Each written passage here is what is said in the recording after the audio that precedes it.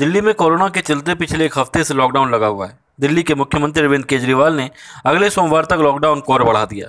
लेकिन इस बीच दिल्ली में डीटीसी के कंडक्टरों को एक नई समस्या का सामना करना पड़ रहा है। डिपो में उन्हें उस गलती की सज़ा मिल रही है, जिसमें उनका कोई दोष ही नहीं है। दरअसल खबर है कि कुछ डिपो में कंडक्टरों को इसलिए ड्यूटी नहीं मिल रही है, क्योंकि उनके कंडक्टर लाइसेंस के रिन्यू होने की तारीख निकल गई है और वे रिन्यू नहीं है। ऐसे में बहुत से कंडक्टरों को रोज़गार नहीं मिल पा रहा है और वह खाली हाथ ही घर जा रहे हैं। लेकिन यहाँ देखने वाली बात यह है कि जब दिल्ली में सभी आरटीओ ऑफ़िस बंद हैं और केंद्र सरकार ने भी 30 जून तक सभी दस्तावेजों को मान्य करने की बात कही है तो आखिर क्यों कुछ डिपो अपनी मनमानी कर रहे हैं? आखिर क्यों कंडक्टरों को परेशान किया जा रहा है? इस संबंध में दिल्ली परिवहन मजदूर संघ, डीपीएमएस के महामंत्री कैलाश चंद मलिक ने भी वीडियो के माध्यम से अपना रोष प्रकट किया। आइए आपको सुनाते हैं क्या कहा कैलाश चंद मलिक ने।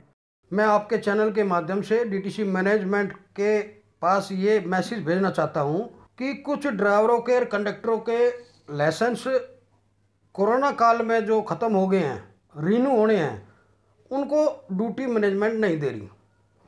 और ये कह के पल्ला झाड़ रहे हैं कि हमारे पास कोई आदेश नहीं आया।